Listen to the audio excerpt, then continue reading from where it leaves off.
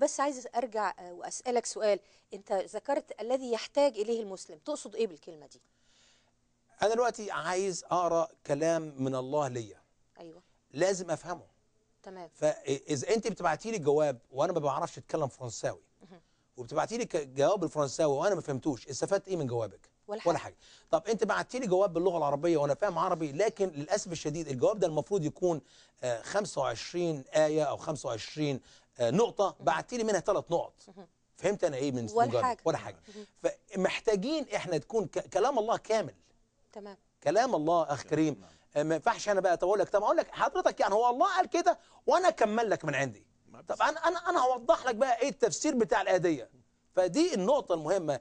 احتياج المسلم لوحي الله لابد أن يكون وحي كامل لما أنا أقرأ القرآن وأدرس القرآن وأفهم القرآن مش محتاج أبص لأي كتب محرفة لا سيما الكتاب المقدس بس؟ في حاجة مؤسفة أخ أسامة سوري إن أنا أقاطعك مرة اتفضلي. لأنه أخ كريم حضرتك ذكرت دلوقتي من شوية إنه احتياج الأخ المسلم وهو ماسك قرآنه نعم. وبيقرأه بيبقى عايز ياخد بركة نعم أنت خدت بالك جات له اتفضل. آه، صدقني أنا آه، كنت بتفرج من حوالي يمكن خمس ست شهور في من أفغانستان. والشعب المسلم في أفغانستان شعب بسيط جدا وطيب وغلبان جدا. أكيد. وجاب لك آه، الكاميرا. الشخص الأفغاني ما بيعرف يقرأ عربي. فاتح القرآن بالعربي ويحط صباعه على السطر القراني ويمشي كده من اليمين للشمال وينزل على السطر اللي بعد منه من اليمين للشمال. عندهم بساطة إيمان. إخواتنا المسلمين عندهم بساطة إيمان. لو حط صباعه على القرآن ومشى مش بس قراءة زي ما بيقول أخ كريم بس مجرد يحط صباعه على القرآن ويمشي كده من اليمين للشمال سطر بعد سطر بعد سطر إن بياخد بركة. واو. وهو مش فاهم أي حاجة. مش هم ده كلام بالعربي. الأفغاني ما بيفهم مش عربي. لغته. مش لغته ولا معرفته. وللأسف الشديد مش بس الافغاني بتاع اليوم. بنتكلم على الأفغاني اللي بقاله 1400 سنة في الإسلام. بنتكلم على الإيراني اللي بقاله 1400 سنة في الإسلام. بنتكلم على الباكستاني اللي بقاله 1400 سنة في الإسلام. بنتكلم على الاندونيسي أنا رحت في إندونيسيا مرتين. 210 مليون نسمه في إندونيسيا ما بيعرفوا يقروا القرآن ولا يفهموا القرآن. يا. ده, ده شيء محزن آه، اخت نوال واخ أسامة حقيقة أكو فد مواضيع بالقرآن يعني من خلال علاقة المسلم بالقرآن. يعني اولا آه، القرآن يوضع بمكان عالي آه، حتى للتقديس. آه، القرآن استخدموه الشيوخ للشفاء. يعني يجيبون آيات للشفاء.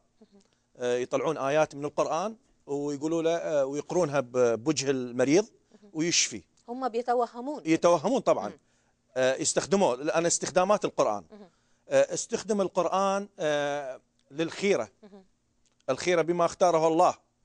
يعملون خيرة يجيب يفتح القرآن آه، أي هيك يعني بدون تعيين. يفتح القرآن بالبركة.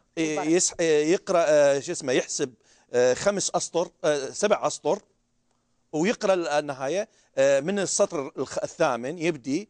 فهي هذا الحل مالتك. يعني أنت عندك مشكلة أنت تجين أنا الشيخ تجين علي آه، تقول لي لي أنا عندي هذا بلكي تاخذ لي خيرة من القرآن. فاني أفتح القرآن كشيخ وأحسب بدون تعيين أحسب تلا- سبع آيات. والثامنة هي الك ما طالما أنت ردتي هاي الك هو كلام ربنا ليا. بقى. آه يا ربي فكثير من ال- الأشياء حتى على مستوى يعني الناس واصلين إلى مراحل يعني دراسيه ومثقفين وقارين وهذا. ده- ده ملوش يؤمنون. بهذه الأشياء. ال- ال- يعني القرآن بهذا المجال ما أخذ ال- بعد ال- ال- يعني بعد المفاهيم مالته. عمق الروحي العمق للإنسان. الروحي للقرآن. القرآن آه، جمع آه، يعني إحنا تحدثنا عن تجميع القرآن وكيف محمد كانت بشو الجزيرة العربية كان آه، آه، كانت مصر وكانت آه، آه، كانت الشام. آه، التبادل الخبرة والتجارة وال- والتبادل. فكانت موجودة أفكار عن عن الأنبياء السابقين كانت أسفار موجودة كانت ناس تقرأ. فمحمد صاغ صياغة مرتبة وجاب هذا القرآن وخلاه الناس. طيب نرجع حجم. القرآن. حجم القرآن بالنسبة للكتاب المقدس. لو بنبص مع بعض شباب على ال- النقطة اللي جاية دي في الباوربوينت بنلاقي إن القرآن حجمه صغير جدا لما بنقارنه بالكتاب المقدس ت- تقصد بكلمة حجم حجم كتاب حجم الكتاب نفسه حجم الكتاب بعدد نفسه. الصفحات عدد بتاعته. صفحاته آه، بصوا معايا يا شباب على ال- ال- ال- ال- ال slide اللي جاية دي في ال PowerPoint بنلاقي في ال-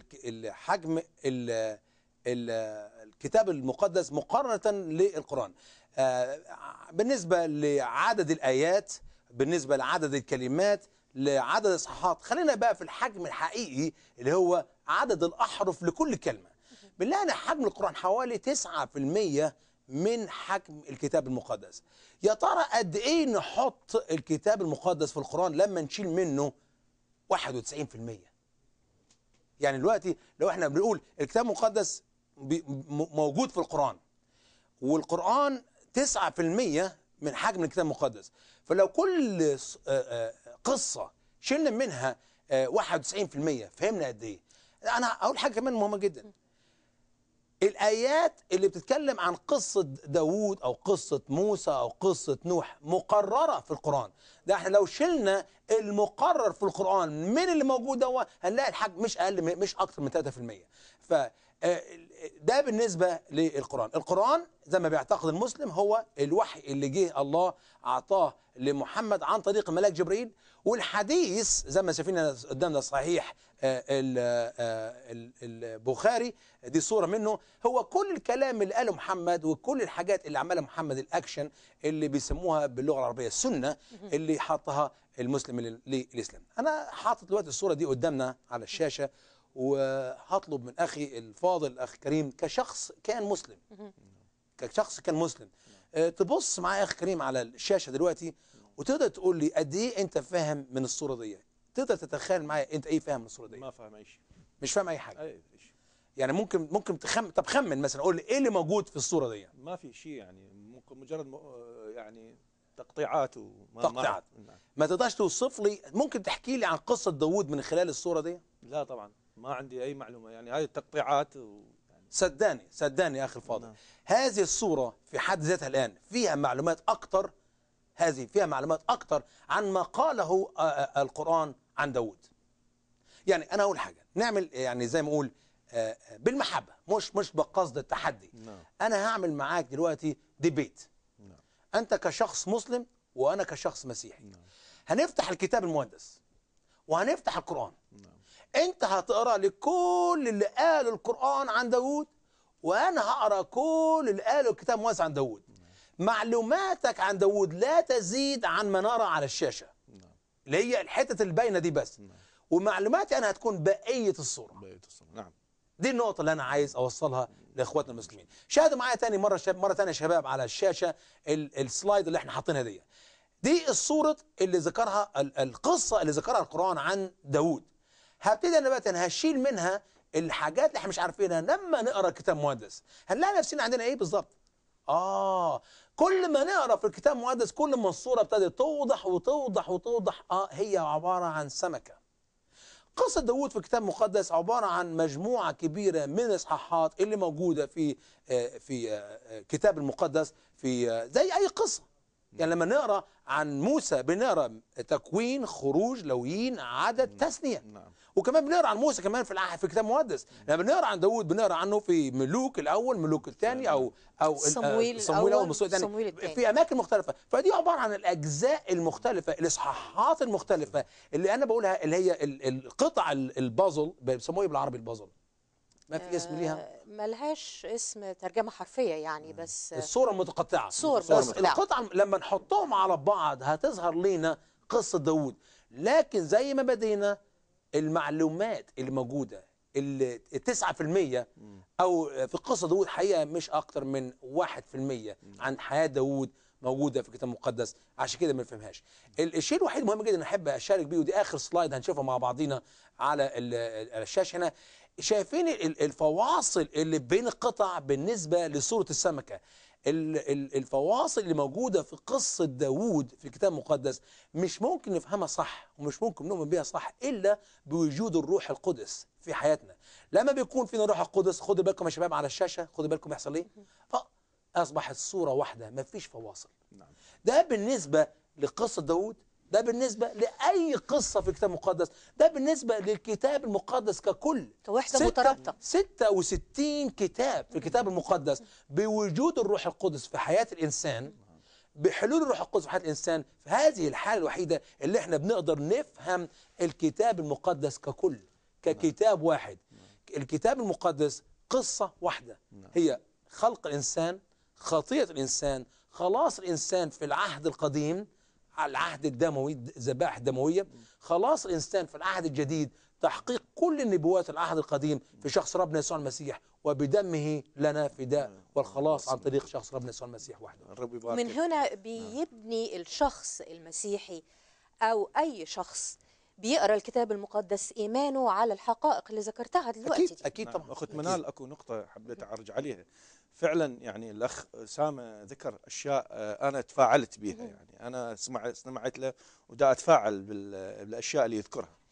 آه، بعد تركي آه، للإسلام وتركي لقراءة ال- بعد ما عدت قراءتي للقرآن وشفت الأشياء اللي فيه فيه اللي ما وصلت إلى بنتيجة يعني وكانت عندي حيرة وتساؤلات وكذا. بعد ما قرأت الكتاب المقدس راح أتحدث عن الكتاب المقدس. أنا من قرأت الكتاب المقدس أولا قرأت العهد الجديد كعابر جديد من الظلمة إلى النور. آه، الأخوة الأحباء المباركين اللي كانوا معايا. قالوا لي حاول أنه تقرأ العهد الجديد. نصحوك بقرايه نصحون العهد. نصحوني بإعادة. بعد ما قرأت العهد الجديد بديت أقرأ العهد القديم. كل ما أنتهي من سفر أتشوق إلى السفر الثاني. فكتبت شعر أنا عنه. يا روعة الكتاب المقدس بأسفاره إن عجزت بفهم سفر يأتيك سفرا ثانيا بالتفسيرات تمام. آمين. يعني ال- القضية أنه الكتاب المقدس متكامل. يعني ما اجى عرج على قضية وأشر عليها إشارة وتركها ومر عليها مرور الكرام مثل ما بالقرآن. كلها إشارات. يعني هل أنه إحنا من كنا بالقرآن آه، احتوينا الع- العهد القديم والحالة وبداية الخليقة التكوين وهذا وصلنا بال- بال- بالقرآن تقرأ القرآن اختصر اختصر القرآن ب- آه، بإشارات أحيانا ونقاط أسماء أحيانا أسماء. ها أحيانا مجرد أسماء. نعم. آه، بكتب حاليا كتاب قربت أخلصه بالإنجليزية. يمكن ربنا يرتب ونترجمه بالعربي عشان الشعب بتاعنا اللي بيشاهد نحب. نديله نسخة. بكتب عن قصة أيوب. نعم. أيوب في الكتاب المقدس 42 إصحاح. تمام. أيوب في القرآن أيتين.